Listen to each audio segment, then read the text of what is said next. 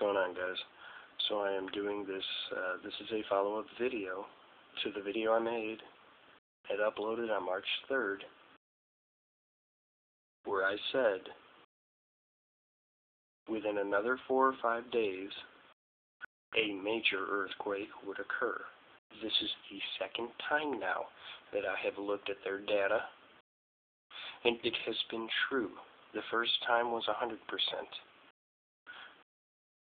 This time was 99%.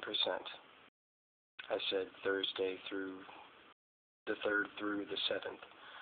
I was off by what, 15 hours, 16 hours? but I have told you in the previous video, prediction video, it's always 4 to 5 days. When HAARP's data shows that they have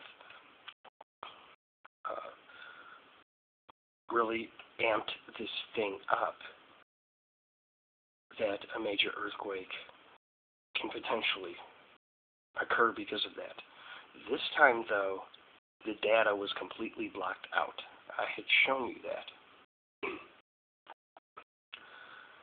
And today, five days from then, the 8th, five days from the 3rd, there was a 7.2 earthquake in Japan. They're issuing tsunami warnings. So I'm telling you guys, you have to go to the website. You've got to look at the data, learn it, read it. You will make the necessary connections that I have made twice now. So, you know, it's time to start waking up to this because HAARP is dangerous. Start waking up to this. Alright, peace.